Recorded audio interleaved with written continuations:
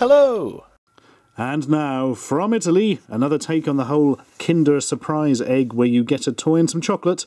It's Picnic Gadgets. Because, yes.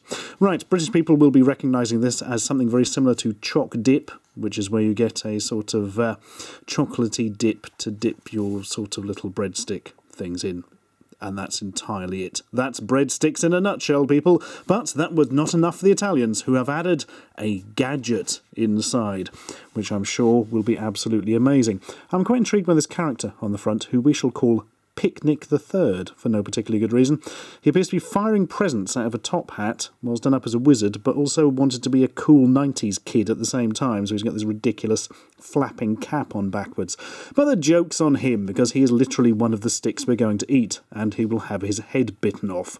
Never really understood uh, sort of promotional characters that are the food stuff you're going to eat. So on the top, we get an idea of what's inside. I think we'd kind of worked that out already. And no, it's not out of date for once. That makes a nice surprise.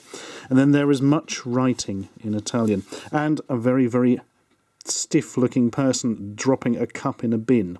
Or maybe causing the cup to levitate out of the bin. We may never know. And the sad onion looks mm, a bit more glum than usual, rather than sad.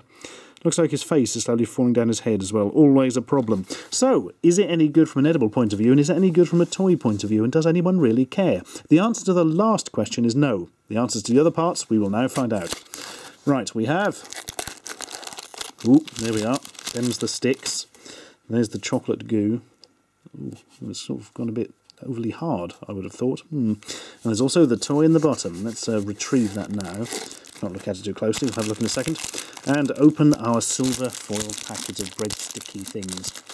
Right, so what's it like on its own?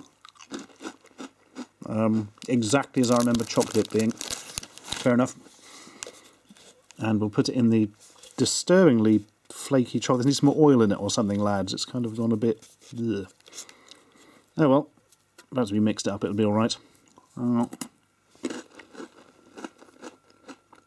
Hmm. The chocolate's not great. It tastes slightly, um,